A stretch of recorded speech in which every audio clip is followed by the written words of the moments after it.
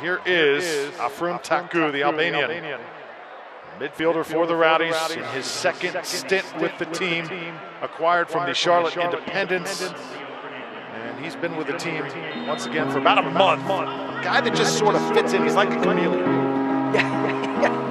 Yeah, he covers up those holes that the coach, that the coach needs. The extra defender, they, they cheat over to Johnson's side.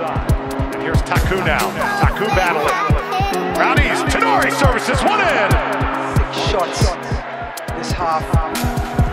Four of them on target right now after that sequence. Two off target. Richards.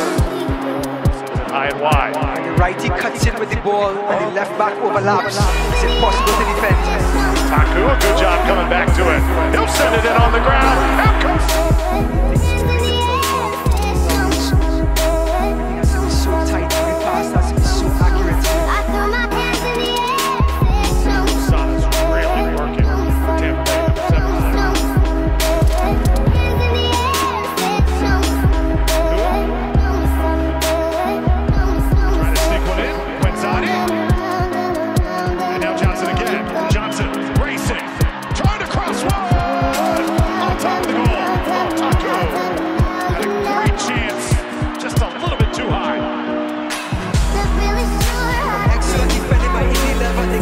They clear the goes as far Malik Johnson. Right on a platter.